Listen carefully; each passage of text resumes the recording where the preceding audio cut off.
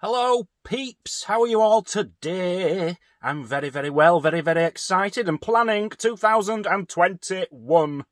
And I thought I'd share it with you because I've come across some amazing festivals and events coming going on this year, hopefully, fingers crossed. Um, and I'm putting them all on the planner and I want to run through it with you now and maybe give you some ideas of where to go this year. So let's just turn you around and have a look at the planner. So here we are, 2021, and I've been filling them out. So, all the red ones, which I've wrote on there, these are all motorhome and caravan shows, all to do with motorhoming. Um, there's the M&C, motorhome and caravan, and there's some which are C&M, caravan and motorhome. I think it's like two different companies doing them.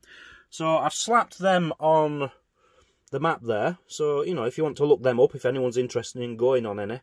But that's not what I'm talking about today. I'm talking about the blue ones. Now, this is nowhere near fully filled in or anything. I've just started it. But these are the ones I've found to start with. Um, I'm going to go through them all one by one, so I'm not going to tell you about them now. But just to give you an idea, that is the only one we've booked with the yellow stickers. And all the others, we're waiting for Boris Johnson to see if we can actually go anywhere, so we'll wait and see. So most of these are going to be places where you can camp overnight in a motorhome. Some of them you won't be able to, um, but I'll run through them anyway. There's festivals, some of them go on as long as a week, some of them are two days, and then we're coming later on in the video, I'm going to go through a lot of quirky things to do, where I am planning this year to become a world champion. No, I'm serious, I really, really am. So the first festival is called Wild Festivals. Now, this is probably the cheapest one we've come across. The price is extraordinary. Aimed at families, there's seven events throughout the year, I believe. And I'm just going to concentrate on the one in North Yorkshire for now to give you an example. Now, the North Yorkshire one is 25th of July to the 1st of August. They're all, I believe, in summer holidays, or they've tried to put them all in summer holidays for the kids. Um, £40 per adult for the entire week, I believe.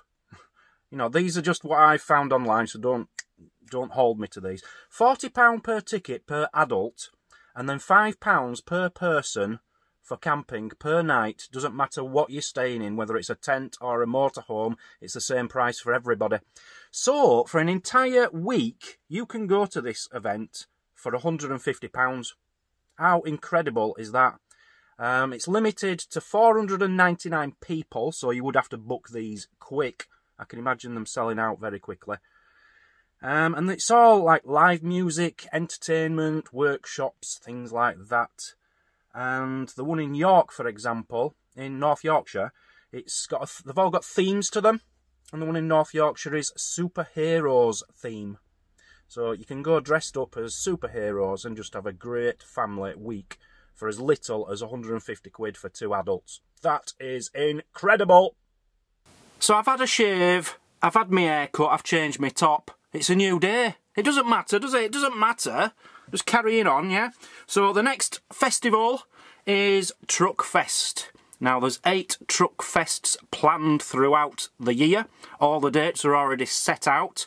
Remember, all these dates, it all depends on Boris Johnson and the lockdown rules and restrictions, etc, etc. But as things stand, these are what uh, are there. So we've got eight two-day events uh, I'm presuming they're all going to be pretty much the same, just in different parts of the country. You've got monster trucks, arena stunt shows, sounds pretty cool. Uh, you can meet celebrities, children's characters, have exhilarating rides and see some incredible trucks. Just sounds like my kind of thing, this. You know, I've been to like a a stunt thing with big trucks with you know with the 10 foot wheels the really big things I've seen them before in my hometown when I was a kid and loved it. So Truck Fest is something we're going to be looking out for this year. For two people, camping for three nights in a motorhome, which includes Saturday night entertainment, uh, I've worked it out, £75. Absolute bargain. So, yeah, we're going to try and get to one of them. Winsterfest. It's so it's so tempting to say Winterfest, but it's Winsterfest in Matlock, Derbyshire. Uh, May the 28th to the 31st, that's when the events are on. £40 each and uh, camping in a tent or a motorhome, doesn't matter which, is free. So, and that's for the entire weekend. So I'm guessing, working this out, it's just going to be £80 if me and Mazzy wanted to go for the full weekend. Um, I don't know if that's just overnight or two nights stay. I'm guessing it's two nights stay. And you got it's just a music festival, I think. You've got things like Chef Leopard and Motley Crude. So they're all like famous bands with changed names. So I'm guessing there's going to be a lot of um, tribute bands. So that sounds pretty cool. Retro Festival. Right, there's two of these. Uh, one in Newark in June and one in Newbury in August, planned so far. Um, I, I don't know, I like the adverts for this. It sounds like it's going to be a really good crack. Wings, wheels, speed, steam, music, dance and bands. You don't need any more for an advertisement, do you? They've got air shows, um, stalls there, lots of bands. Four nights and camping and a weekend pass for all events for two people without electric hookup £180. I think that's pretty good for what it's going to offer. And as I say, if the first one is cancelled because the COVID restrictions aren't lifted in time, you've got the chance of the one in August, so keep your, your eyes peeled for that one. Towerfest Country Music Festival is due to take place 17th to 20th of June in Selby, North Yorkshire. It's all country and western music. It's just a music event.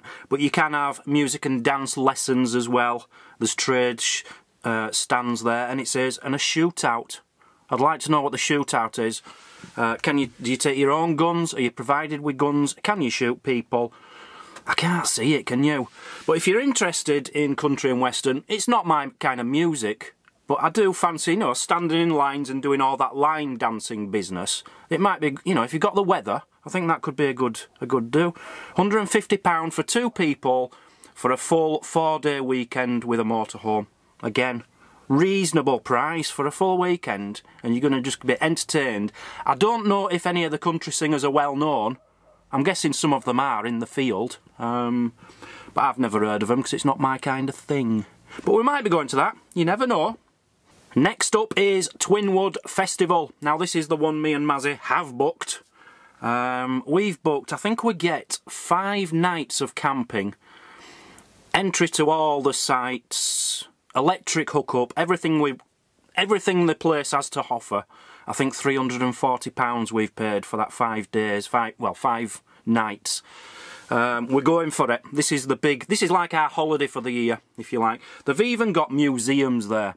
It's like, it's old music from like the 20s up to the 60s. Everyone dresses up. You've got uh, Mr. and Mrs. Vintage, so you can, you know, the pick the winners, the best dressed people. You can learn how to do the jive and Charleston, Charleston. Char I always get that wrong. Uh, there's lots of shopping places, and lots and lots of bands. There's far too many for me to go into. None of them are well known, but I should imagine a lot of them are going to be like 1920s, 1930s style uh, singing and dancing. Really, really looking forward to it. Something a bit different, something a bit retro, something right up our street. Vintage. As far as the big festival type events, this is the last one I'm going to tell you about. There's loads more, but I'm just picking some out for you. Uh, this is called the End of the Road Larmer Tree. L-A-R-M-E-R tree. Uh, Larmer Tree Gardens. 2nd to the 5th of September. I'm not sure where Larmer Tree Gardens is. But this is a proper big music festival. It's not a Glastonbury, but it's big. It's got some big names there, including the Pixies this year. Now, I remember listening to the Pixies when I was 18, 19, so they're a cool band. King Krule, you might have heard of him. Big Thief, Bright Eyes, Little... I, I've not heard of any of the others, I'll be honest, but there's hundreds and hundreds of them there. This is a big one, um, and it comes at a price. £513 for two adults in a motorhome for the full weekend. That's what I worked it out as. So you know, if you're into your music, look at, you know, I've put a list on there, some of the people who were on. If you recognise some of them, it might be for you. Right, I'm going to move straight on now to some more unusual places or places which haven't been announced yet. Do you like steam or traction engines? Do you like them? Well, this is Pickering Traction Engine Rally. Um, the North's biggest steam event. It was actually one of you guys. Thank you very much for suggesting this place to go to. Um, we've looked into things like this in the past because Maz is really interested in steam for some reason. It's just loads of traction engines, uh, tractor pulling, stuntman shows, classic cars, vintage motorbikes, there's no prices or dates set as yet. There's one thing which is going to be there, and Mazzy's been going on at me. Will you take me there? Will you take me there? It's been shut or it's closed down. I don't know which it is. It's the Scarborough Fair Collection, just down the road from here. Um, she's wanted to see all the old fairground rides and things. You know, it's it was a museum in Scarborough, but it's shut. I don't know if it's reopening, but apparently that's going to be there, so you can actually see all the Scarborough Fair things there. So Pickering Steam Fair, I don't think that's going to be an expensive one. I do think you can stay overnight with motorhomes. Um, and I think it's on for a couple of nights, so we're looking forward to that. There is other traction engine rallies around the UK, um, but that's the big one in the north. That's where we want to go. So now on to the really weird and wonderful. I did say I want to become a world champion this year, and I wasn't joking, and I am planning on being one. The first option, the first opportunity I've got to becoming a world champion is the World Snail Racing Championships in Congham in Norfolk. Now, I've been looking into this. You need certain snails, you need to get loads and then give test runs to them, throw the other ones back and just keep the fast ones, certain kinds, feed them on certain things. It's a very professional sport.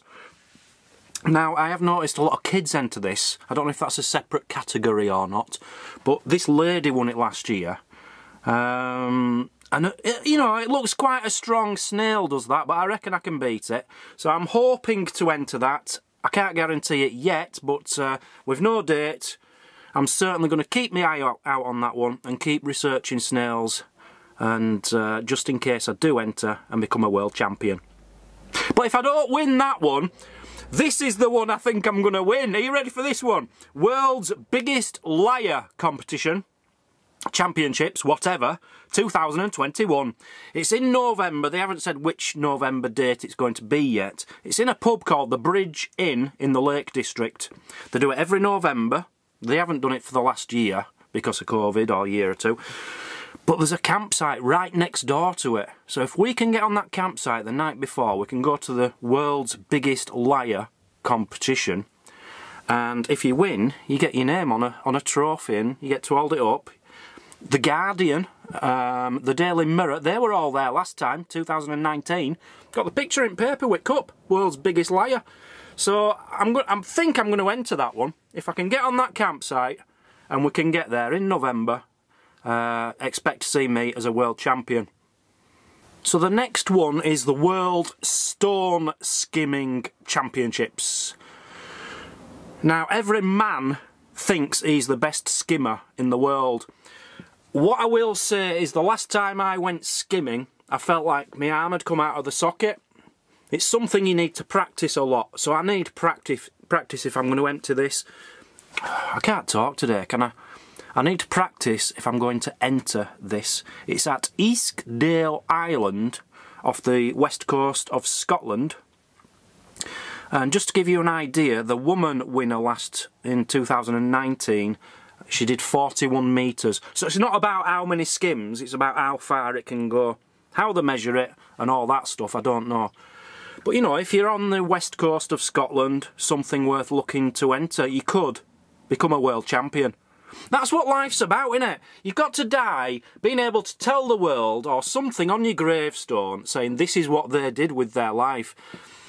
You know, if I win, Dan, the biggest liar 2021, world champion, At least I've, you know, it's not the best thing to brag about, but at least it's something I've done in my life and beat everyone else in the world at.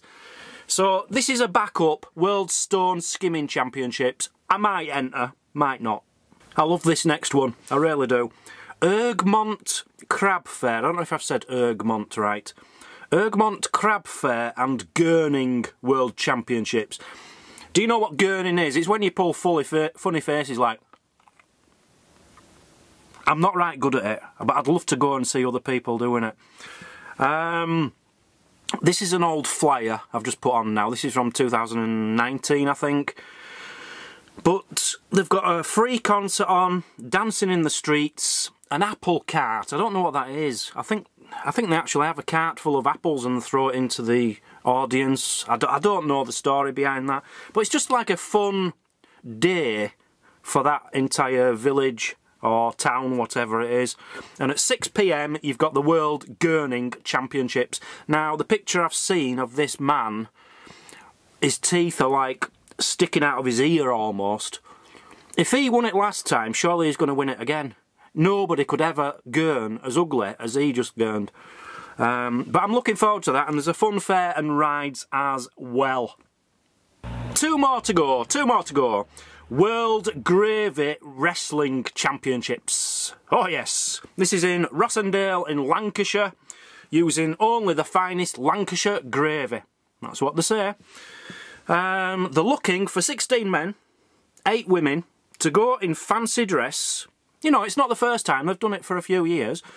Go in fancy dress and have four fights and the winner gets a trophy with the name on saying I am the World Gravy Wrestling Champion.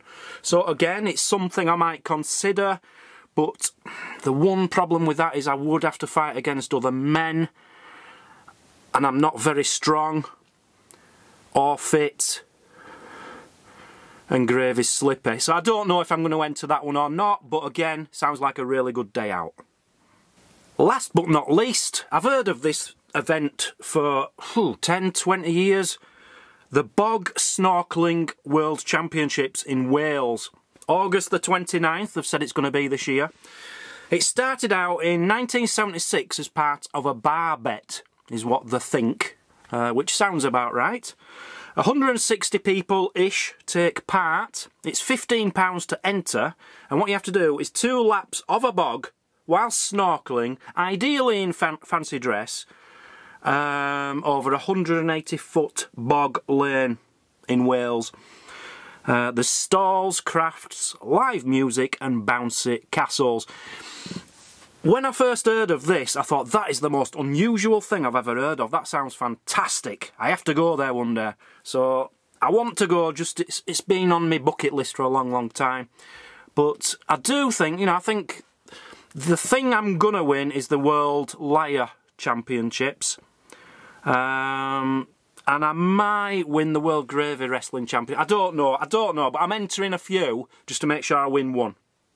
So that is my full list, people. You know, I've just picked a few things out. There's loads more which are going to be announced. We don't know what the lockdown rules and social distancing rules are going to be. So we'll just have to hold fire and uh, wait to see what happens. If you know of any other festivals, amazing days out, like these, uh, please let me know. Email us at traveltrollstv at hotmail.com or leave a comment. Thanks for watching people. Catch you all very soon on Travel Trolls TV. Goodbye!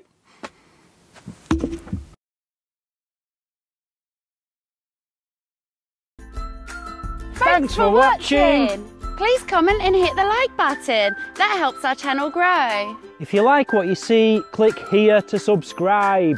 Check out this other great video. And if you really want to show your support, join the club, become a Patreon for extra videos and perks. The more support we get, the more content we can give. We'll see you tomorrow on Travel, Travel Trolls, Trolls TV. TV.